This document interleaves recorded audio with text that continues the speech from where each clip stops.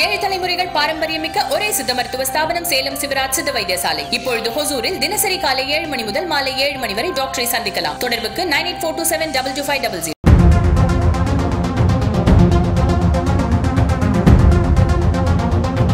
தமிழக பாஜக தலைவர் அண்ணாமலை வெளியிட்டுள்ள அறிக்கையில் ஆட்சிக்கு வந்த சில மாதங்களில் தமிழக நெல் விவசாயிகளுக்கு ஐம்பத்தி இரண்டு புள்ளி பூஜ்ஜியம் இரண்டு கோடி ரூபாய் செலவில் தார்பாய்கள் வழங்கப்படும் என தெரிவித்த திமுக அரசு இதுவரை எத்தனை பேருக்கு அதை வழங்கியுள்ளது என கேள்வி எழுப்பியுள்ளார். மேலும் தேர்தலுக்கு முன்பு கொடுத்த வாக்குறுதிகள் ஆட்சிக்கு வந்த பின்னர் கொடுத்த வாக்குறுதிகள் என எதையும் நிறைவேற்றாமல் திமுக அரசு விவசாயிகளை தொடர்ந்து வஞ்சித்து வருவதாக விமர்சித்துள்ளார். போதிய உலர் தளங்கள் இல்லாததால் பெருவாரியான விவசாயிகள் சாலையில் நெல்லை உலர வைப்பது இன்று வரை தொடர்ந்து வருவதாக விமர்சித்த அவர் திமுக அரசு இதற்கு மேலும் தாமதிக்காமல் வாக்குறுதிகளை நிறைவேற்ற வேண்டும் என வலியுறுத்தியுள்ளார்.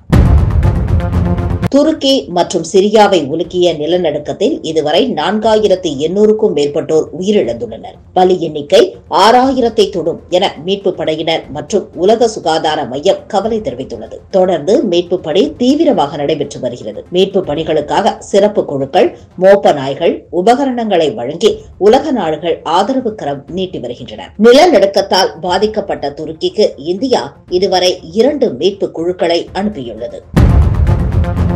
ஈரோடு கிழக்கு இடைத்தேர்தலில் அம்மா மக்கள் முன்னேற்ற கழகத்திற்கு குக்கர் சின்னம் ஒதுக்கப்படாததால் இடைத்தேர்தலில் போட்டியிடவில்லை என அக்கட்சியின் பொதுச் செயலாளர் டி டிவி தினகரன் அறிவித்துள்ளார். இது தொடர்பாக அவர் வெளியிட்டுள்ள அறிக்கையில் மக்களவை தேர்தல் ஓராண்டு காலத்திற்குள் வரவிருக்கும் சூழலில் புதியதோர் சின்னத்தில் ஈரோடு கிழக்கு இடைத்தேர்தலில் போட்டியிடுவது தேவையில்லாத குழப்பத்தை ஏற்படுத்தும் என தெரிவித்துள்ளார். மேலும் இந்த இடைத்தேர்தலில் போட்டியிடுவதை தவிர்ப்பதே சரியாக இருக்கும் என்ற தலைமை கழக நிர்வாகிகளின் ஆலோசனையை கருத்தில் கொண்டு இந்த தேர்தலில் போட்டியிடவில்லை என தெரிவித்துள்ளார். ஏற்கனவே ஓபிஎஸ் ஆதரவாளர் போட்டியில் இருந்து விலகிய நிலையில் டிடிவி ஆதரவாளரும் விலகுவதால் அதிமுக வேட்பாளர் தென்னரசுக்கு பலம் அதிகரித்துள்ளது.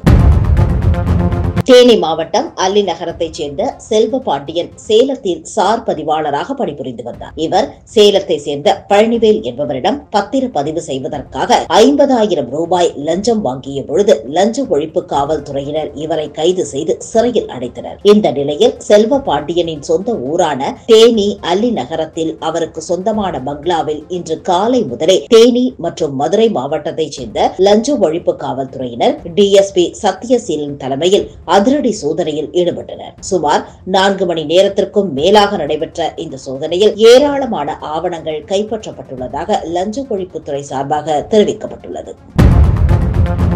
கிருஷ்ணகிரி மாவட்டத்தில் ஆண்டுதோறும் பொங்கல் பண்டிகை முன்னிட்டு பல்வேறு கிராமங்களில் தமிழர்களின் பாரம்பரிய வீர விளையாட்டான எருது விடும் விழா மஞ்சுவிரட்டு போன்றவை நடத்தப்பட்டு வருகின்றன. அந்த வகையில் கிருஷ்ணகிரி அருகே திப்படப்பள்ளி ஊராட்சிக்கு உட்பட்ட கும்மனூர் கிராமத்தில் ஏழாம் ஆண்டு எருது விடும் விழா நடைபெற்றது. இந்த எருது விடும் விழாவில் கிருஷ்ணகிரி திருப்பத்தூர் வேலூர் ஆலங்காயம் போன்ற பல்வேறு இடங்களில் இருந்து இருநூற்றி ஐம்பதுக்கும் மேற்பட்ட காளைகள் பங்கேற்றன இதில் குறைந்த நேரத்தில் இலக்கை எட்டிய காளைக்கு முதல் பரிசாக ஒரு லட்சம் இரண்டாவது பரிசாக எழுபத்தி ஐந்தாயிரம் மூன்றாவது பரிசாக ஐம்பதாயிரம் ரூபாய் என ஐம்பது காளைகளுக்கு பரிசு வழங்கப்பட்டது.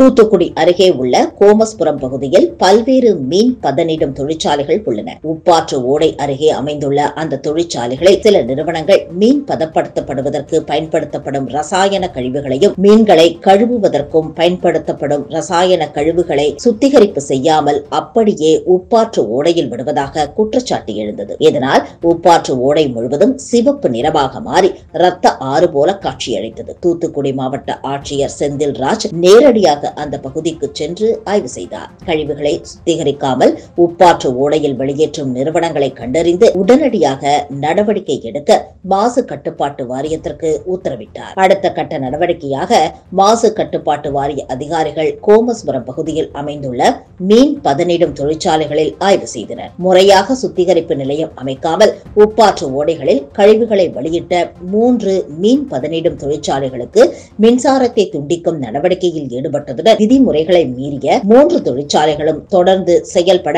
அனுமதி மறுத்ததுடன் சுத்திகரிப்பு நிலையம் அமைக்க உத்தரவிட்டுள்ளனர்.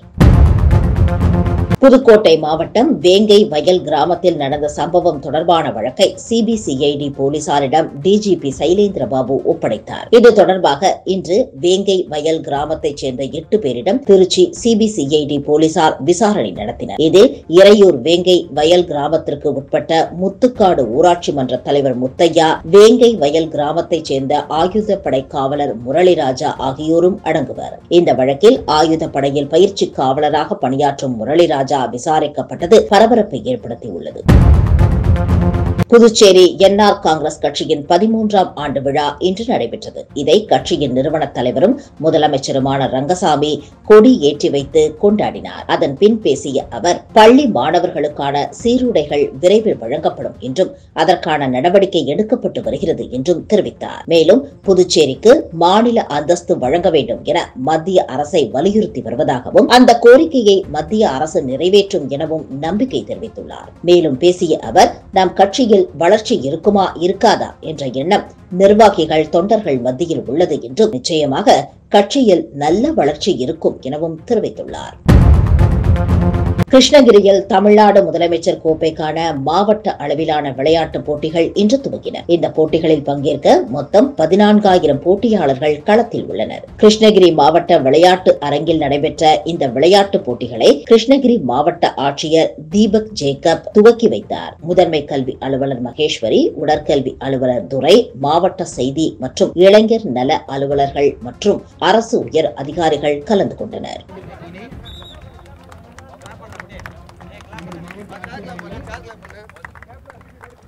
एक लाख கோவை பேரூர் பட்டீஸ்வரர் கோவிலில் யானைக்கு புதிதாக கட்டப்பட்ட குளியல் தொட்டியை திறந்து வைத்த பின் செய்தியாளர்களிடம் பேசிய அறநிலையத்துறை அமைச்சர் சேகர் பாபு இருபத்தி ஏழு திருக்கோவில்களில் யானைகள் பராமரிக்கப்பட்டு வருவதாகவும் அந்த யானைகளுக்கு குளியல் தொட்டிகள் நடைபாதைகள் அமைக்கப்பட்டு வருவதாகவும் தெரிவித்தார். பழனி திருக்கோவிலின் கருவறைக்குள் அத்துமீறி நுழைந்ததாக பாஜக சட்டமன்ற உறுப்பினர் வானதி ஸ்ரீனிவாசன் கூறிய கருத்திற்கு பதிலளித்த அவர் ஊடகங்களில் வரவேண்டும் என்பதற்காக விஷமத்தனமான செய்திகளை வெளியிடுவதுதான் வானதி ஸ்ரீனிவாசனுக்கு வாடிக்கையாக உள்ளது என விமர்சித்துள்ளார். மேலும் திருக்கோவிலில் அனைவரும் சமம் என்ற நிலையை உருவாக்கியதாலும் திருக்கோவிலை வைத்து வருமானம் பார்ப்பவர்களை முடக்கியதாலும் தேவையற்ற செய்திகள் வெளியிடப்பட்டு வருகிறது என பாஜகவை மறைமுகமாக சாடியுள்ளார்.